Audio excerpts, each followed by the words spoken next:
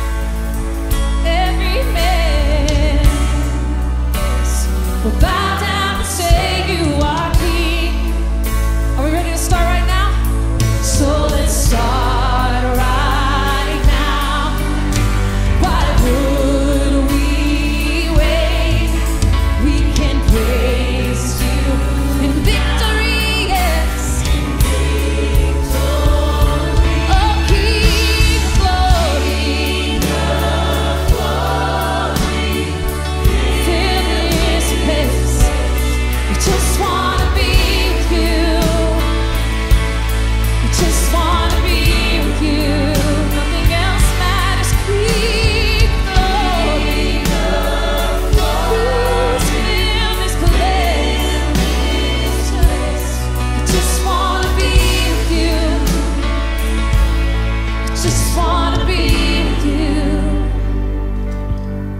So I'll sing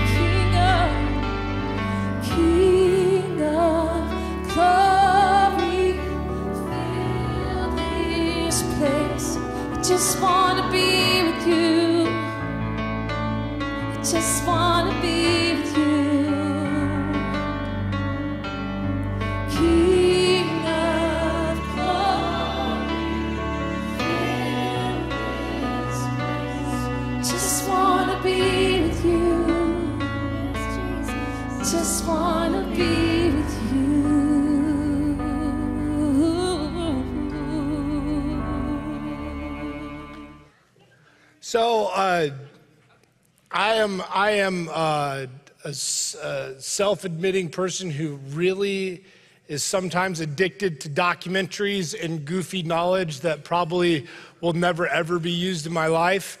Uh, for a long time, I can absorb things that that have no rele- really no relevance to everyday life, and then be able to spout them out in like some weird situation where they actually arise.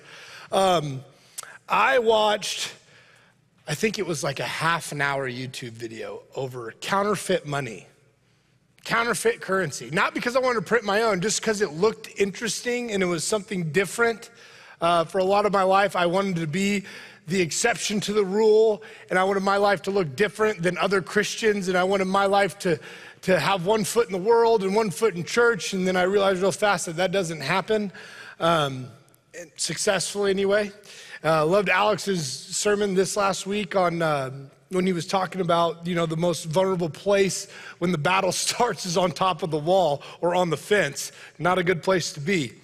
Um, but as I'm watching this this YouTube documentary over counterfeit money, um, this guy says something that rings super true.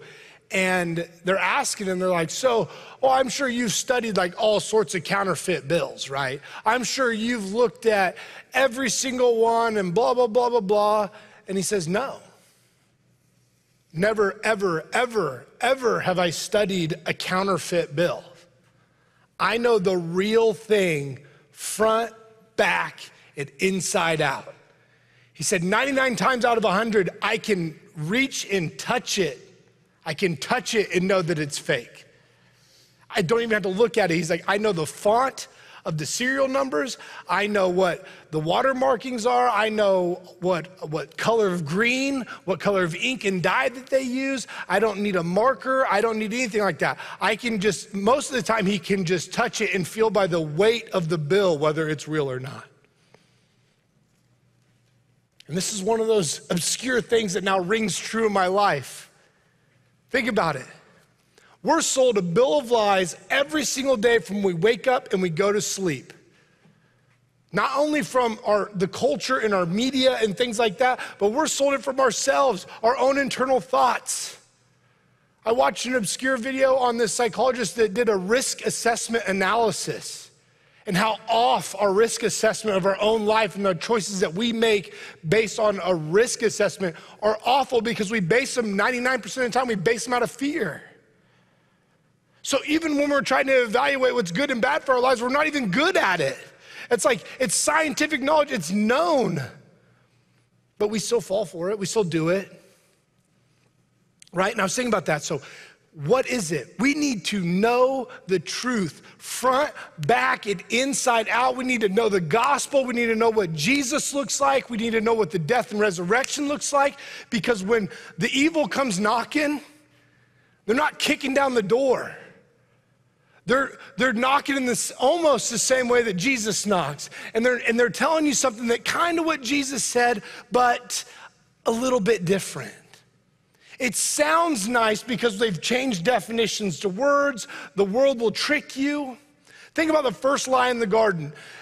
The devil said, You know what? Go ahead and eat of this tree. You're surely not going to die. Hey, but you're going to be like God. If you eat this, you're going to know what God knows and you're going to be like God. What an awful lie that we still continue. What is it? it sounds just like what we're taught today. Love yourself, lean on your own understanding, have your own truth, control your own destiny. That sounds like being God. It's the same lie that was perpetrated to Adam and Eve, and now we're still falling after the same thing. Austin talks about how Jesus and words haven't changed in the Bible, and amen to that. But guess what? Satan and his lies haven't changed either. Haven't changed a bit. 2 Timothy 3:16 and 17. You could start every sermon with this, every sermon, and it's relevant. Because if you're in the Word of God, I love this. Uh, verse 16 All scripture is God breathed and useful for teaching, rebuking, correcting, training in righteousness, so that the servant of God may thoroughly be equipped for every good work. And I want to focus on 17 that the man of God may be competent and equipped for every good work. Where every servant may be thoroughly equipped for every good work. Because any work that you're doing that God isn't telling you to do is not a good work. It's not. If you're doing something that makes you feel good about yourself, or number one, it's not a good work. That's a selfish work. That's selfishness. That lie that we believe that Satan perpetrated in the beginning that you are you you're going to be like God and you are going to be God of your life. And, and, and the New Age talks about I'm God, you're God, we're all God. Right? That's wrong. That's a terrible lie that we believe because it becomes selfish and self centered. And we know if we filter it through the Bible, we know the Bible says, die to yourself, become less. But it sounds good and feels good, so we believe it. Psalms 119, 105.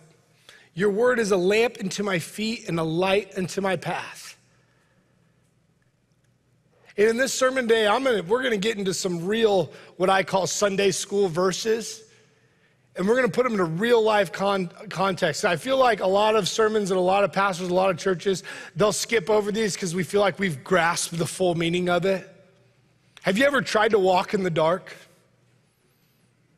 Now, have you ever tried to walk in the dark while you have a three year old child that doesn't clean up after herself? It's terrifying. It's terrifying. If we know how Satan works, if we know how the devil works, he works in a way of setting traps. He doesn't have the power to be omnipresent, He doesn't have the power to be all knowing. He is not equal one with God. He is not, he is not God's yin and yang. That's not how that works. That's a lie. But he has to set traps greed, selfishness, things like that. We got to fall into these traps. Sexual immorality. We got to fall into these traps. And when you and it's easy to fall into a trap when you can't see it. It's the measure of a good trap is not being able to see it. Ask Indiana Jones, right? But when you light the path and when you can see the trap clear as day, you don't fall into it. You don't buy into the fakeness, the shallowness of the world where, where it tells you, no, no, no, do this, make yourself feel good. Guess what? That's only gonna work for like 120 years guaranteed, right? 100 years maybe. Life expectancy in America is like 75 or 77, depending on which study you look at. So, what, you feel good for 77 years, and then what happens in eternity? We know. If you read the Bible, you know. That's what makes you prophetic. Because you know what God has in store for you. And that's why people get upset with Christians a lot of the times, because you seem so sure of yourself. Yeah, pretty sure of myself if I know where I'm going once I die. makes death a lot less scary, for sure. John 1, uh, John, 1 John 1 6. If we say we have fellowship with him while we walk in the darkness, we lie and we do not practice the truth. If we say we have fellowship with him while we walk in the darkness, we lie and we do not practice the truth. We lie. If not to ourselves, worse, to others. And we lead them down a dark path full of, full of traps and things to snare you and trip you up in your life. The pursuit of things that are not good, working for things that are not good. And we don't know that because we don't know what's real and, real and uh, fake. And maybe the next step that you need to take in your life is to understand that this whole book, front to back, is 100% real and the only thing that you need to know when it comes to your life. Ephesians tells us there's nothing new under the sun. The devil hasn't changed his game plan since man was created. The evil one has been and is coming, and it's going to be easy for people to trip up on it. If we read in Revelation, if you read like uh, uh, uh, the end times, right, the beast is going to suffer a mortal wound, go away for a few days, and come back. What's that sound like? It sounds like a pseudo version of what Jesus did. It's a small lie to get people to believe that he's some immortal, immortal thing that can take down God, and he preaches things that are that scratches the itches, the, the itching ears that Jesus refers to, that uh, Paul refers to in Second Timothy. He's going to preach this one world religion where it sounds great and everybody love everybody and you can be immortal and you're going to be more than human. You're going to be human 2.0 but it's not going to be real. It's not, it's not the Savior. And a lot of people are going to fall victim to that. Why? Because they don't know the truth. They didn't study God's word and understand it. So as soon as they were handed a lie, they knew it was a lie. They could feel it. They didn't even need to read it or invest any time in it. They could feel it. As soon as you touch it, you know it's a lie. Why? Because you know God's word. So I think the next step in our lives, and I love the Bible because it gives us a list of things that we can we can armor up.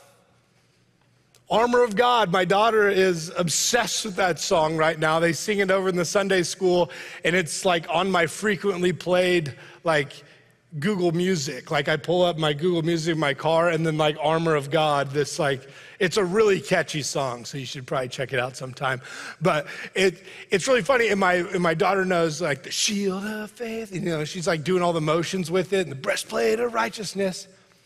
And as she's singing, I'm like, that wasn't, that, that set of verses wasn't for like five-year-old kids, three-year-old kids. That, that, that's, got some, that's got some juice to it. That's got to have something more to it. And I was thinking about, and what started me on it was the helmet of salvation. right? And this helmet of salvation, and I, and I could refer to a few verses that I knew that kind of backed up why salvation would be over, head, over my head. So it got me into this study. And I was just thinking about it like, have you guys, do you guys know what wish.com is? You know, wish it's like cheap off-brand stuff. It's like counterfeit. It's like as close to the, as, as close as possible for like a hun- like 99% discount. You think it's real. I call it wish.com because you wish it was real because it's not going to give you anything that you want. Um, I couldn't imagine, and I was thinking about, I couldn't imagine putting on the armor of, of the world. That's like buying, that's like buying like the plastic helmet with the dragon on it you, got as a kid with the plastic sword. And if you didn't even hit your friends with it, but if you waved it too hard, it like bent. It was like, and it'd like fall over. Yeah, I couldn't imagine going into a battle with that kind of armor on. So fake, so fake. But I love the armor of God, and, and we're going to go through that right now. Ephesians 6 10 through 20. Finally, be strong in the Lord and the strength of his might. Put on the whole armor of God. And I like how it never leaves out that we need to do it in its fullness. Not just the boots, not just the helmet, not just the breastplate, not just like two of the few. No, all of it. You've got to put all of it on. Because you're going to be left exposed, right? We're going to be left exposed if we don't put the whole armor of God on, that you may be able to stand against the schemes of the devil, devil. For we do not wrestle against flesh and blood, but against rulers, against the authorities, and against the cosmic powers over this present darkness against spiritual forces of evil in heavenly places. I love that part because this earth was made to be heavenly. The original creation of this earth and what its purpose was and what Adam and Eve's jobs were was heavenly. Think about it in, in, in the Lord's Prayer on earth as it is in heaven. That's what man's job was to do, was to rule earth like God rules heaven. That was the job. This place is meant to be heavenly. But we have the fall and are saved. We have another fall and we are saved again and again and again and again. And then Jesus bails us out for eternity. Praise the Lord. forces of evil in heavenly places. Therefore, take up the whole armor of God, and it does not leave it out again. It says the whole armor of God, that you may be able to withstand in the evil day, and having done all that, stand firm. 14. We're going to break down some of these pieces of armor here. In 14, therefore, having steadfasted on the belt of truth, and I love it. I love the belt of truth. You know, it's funny. Um, if your pants are too big and you don't have a belt on, it's gonna be pretty embarrassing. And then back in, in the time when they wrote this, the belt, they would use the belt to tuck the tunic in to where they could run faster. They'd tuck their tunic in their belt and they'd, stra- and they'd strap their belt. And think about it what else is hanging off the belt? The sword's hanging off the belt, everything's hanging off the belt. And we've been talking about truth in the beginning of this sermon. If you don't have truth in your life, I like to, I immediately go to the, the saying in my head, you're caught with your pants down. You tell enough lies, little white lies, one gets exposed, and then it's like dominoes, and then you're at the end like, uh, uh, sorry.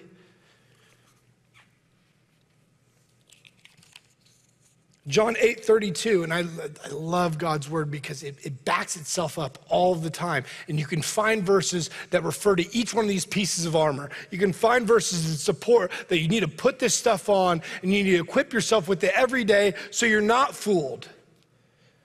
John 8 32, and you will know the truth, and the truth will set you free. If you know that you can run and take off, and you're and you're not gonna lose stuff off of your, you're not gonna lose your sword, and, and your tunic's not gonna come untucked, or your, your pants are gonna fall down around your ankles, you're free. You feel secure. You're secured by the truth. People can lie to you all they want, and it bounces off. No, thank you. I've got mine. And it comes from the only one that can give it, the true truth giver, the moral giver of God.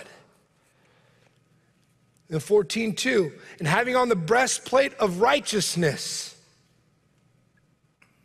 Righteousness. doing the opposite of bad, being upright, being set apart. It's what guards your heart.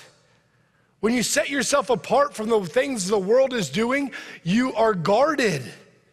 You guard yourself from those temptations. You know, you can be preaching to people about things. I was, I was um, at a meeting here at the church, and, and somebody gave a little bit of their testimony, and they talked about a situation they could now reinsert themselves in. And I was just like, yes.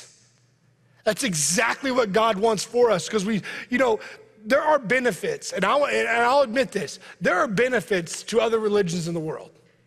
Shallow benefits, but benefits nonetheless. There are benefits to 12 step programs. There are benefits to meditation and keeping yourself away from, say, certain substances or whatever the case may be. They might be able to get you off that, but you're still a slave to it. And what I love about Christianity is you can be a recovering alcoholic and you can love God, and maybe He saved you from that, but guess what? You don't, you don't live with the spirit of fear and timidity. You should be able to still, you know, maybe at one point in your life when you've got some spiritual maturity, you can walk back into that bar and you can and you can preach to those guys who struggle with that. You're not going to continue to be a slave to whatever it is that you gave your life over to. God changes you completely. It's a transformation process. It's not going to happen overnight. But that encouraged me, man. That fired me up to hear uh, that man share that. That, that gave me so much encouragement. Second Timothy uh, 2.22, so flee the youthful passions and pursue righteousness, faith, love, and peace, along with those who call on the Lord from a pure heart. The breastplate guards our heart. Because if our heart doesn't change, this isn't going to change. If we don't start caring about things, we're never going to start thinking about them differently. Romans 1:17 for the righteousness of God is revealed from faith for faith as it is written the righteousness the righteous shall live by faith. For in the righteousness of God is revealed from faith. Know, you're pretty if you got a if you got a, a bulletproof vest on if you've got some armor over your vital organs feeling pretty invincible right it's easy to have faith when you're righteous. When you're living in righteousness, when you're walking in righteousness, it's easier. I'm not going to say it's always easy. I'm not going to lie to you. I've already done my sermon on get comfortable being uncomfortable. I'm not going to lie to you and tell you it's going to be easy all the time. But when, you when you're living in righteousness, it's, it's, it's almost a second nature to walk up to somebody and be like, hey, you know about Christ, man? When you're not walking in the darkness, when you're fellowshipping with, fellowshipping with Him and you're walking in righteousness, you're walking in the light, it's easy to have faith.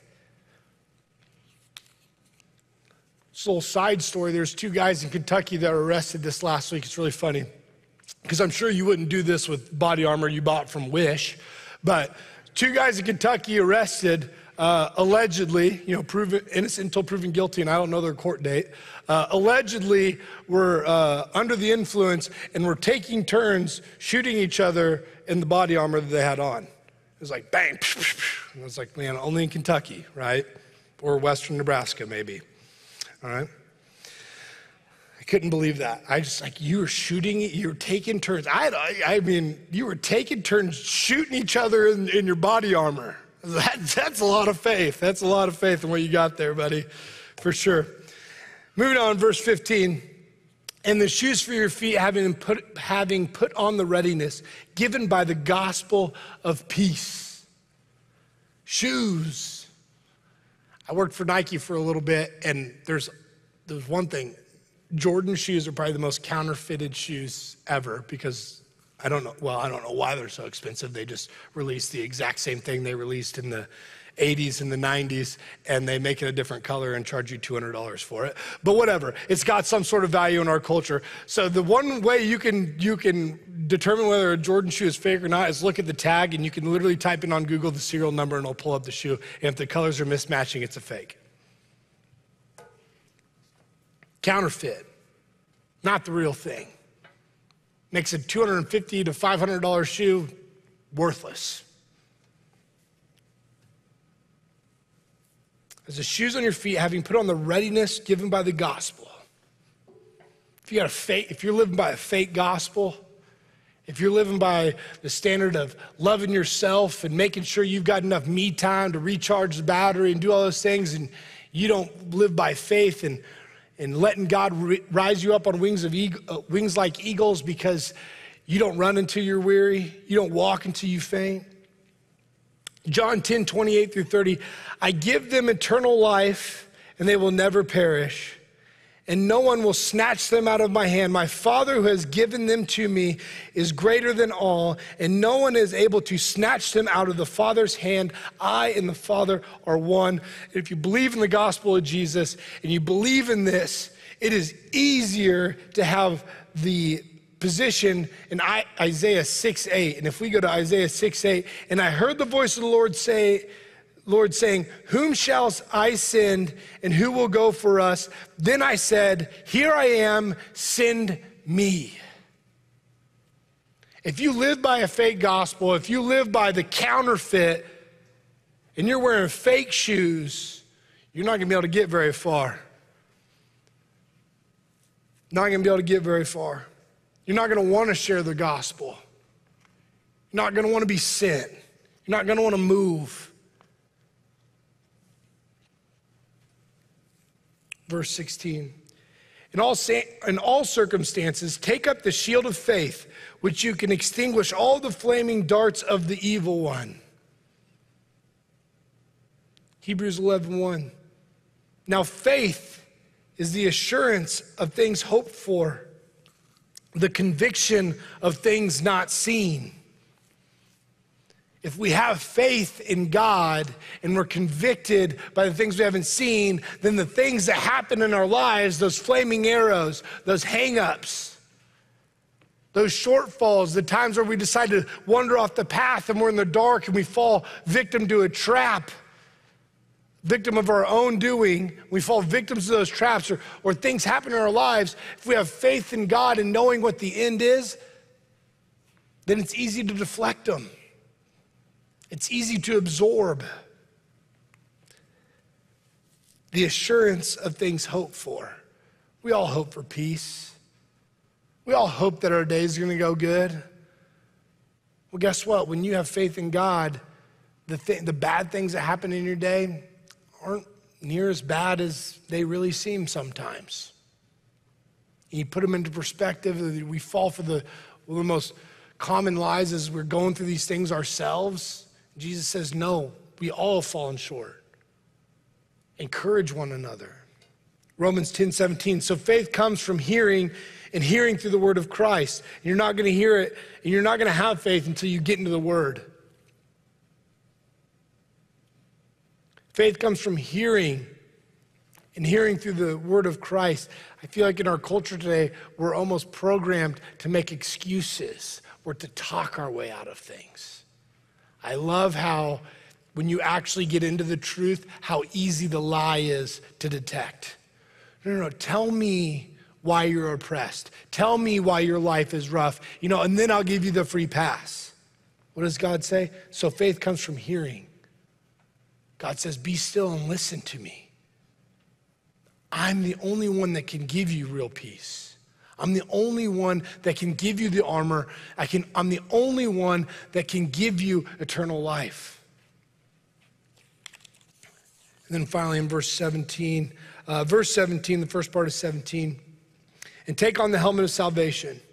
Romans 12, 2, do not be conformed to, the, to this world, but be transformed by the renewal of your mind that by testing you may discern what, what is the will of God, what is good and acceptable and perfect. Salvation changes your mind, changes the way you think because your heart has been changed because you took a righteous step in becoming saved and being baptized. And you've accepted salvation, your mind is now covered. You look through the world through a different lens, you see it differently. Colossians 3:10 and have and have put on new self which is being renewed in knowledge after the um, after the image of its creator. Helmet of salvation protects your mind. and the sword of the Spirit.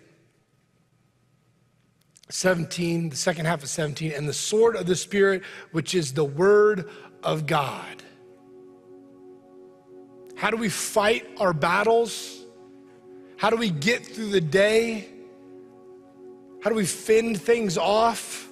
What's the offense? God's word. Matthew 10 34. Do not think that I have come to bring peace to the earth. I have not come to bring peace, but a sword. But a sword. And he tells us it's a sword of the Spirit. That we're not gonna fight off flesh and blood. The battle isn't against each other. We get that confused all the time. That's the bit, one another big lie that trap that we fall into. The battle's not against one another. It's against this, this evil darkness. And the only way that you can fight it off, tell it to leave, and fend it off is with the Word of God and the Holy Spirit stirring in you to understand what this is saying. You'll hear people talk about what Jesus is and, and, and, this, this new age religion of like intersectionality where it's everybody love everybody and accept everything. Yeah, it sounds good until you tell me your definition of love. And it doesn't match up with God's. And they tell us, no, Jesus would, Jesus would be okay with this and Jesus would be okay with that. Yeah, he died for it. That's how not okay he was with it. He is willing to hang himself up on the cross so that you could be taken away from it and you could be bailed out of it. Not that, not so you could, he would be okay with it. And he tells us, do not think that I have come to bring peace to the earth. I have not come to bring peace. I have come to bring a sword because he's going to eradicate evil on this earth and new heaven is going to be placed here and by one word like a sword out of his mouth he will eviscerate the armies of the devil. And we'll have heaven on earth. He didn't come to make peace. Get on his side.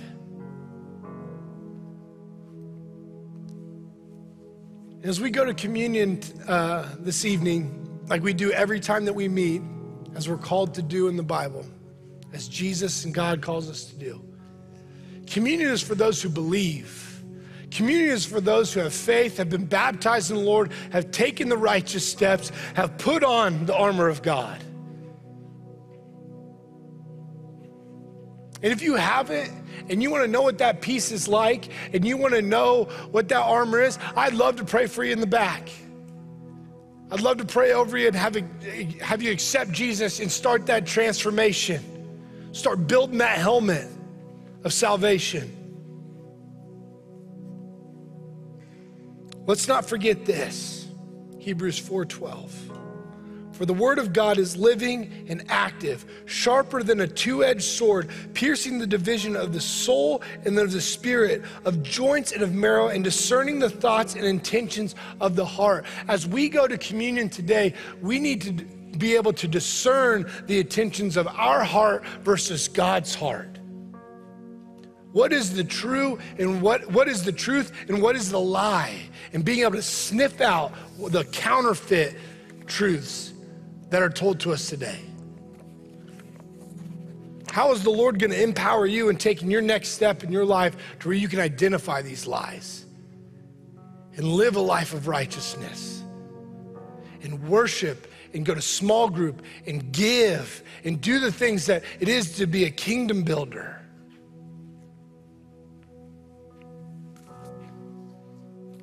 Let's pray. Lord, we just come to you tonight as broken and flawed vessels. Thank you for bringing us together this evening to hear your word, to study it, to understand your heart and what you want for us. Lord, we thank you for the word so we can know your character, why you died for us, and why we have the gospel. Lord, we recognize your power. We recognize the power that you have to save us and what you did to save us, not to be okay with our sin, but to get us as far away from it as possible. Let us not forget that as we partake in the remembrance of you and what you've done. Lord, bless these people, bless this place, this city, this state, this nation. We recognize your power, your love, your grace, and your mercy. In Jesus' name.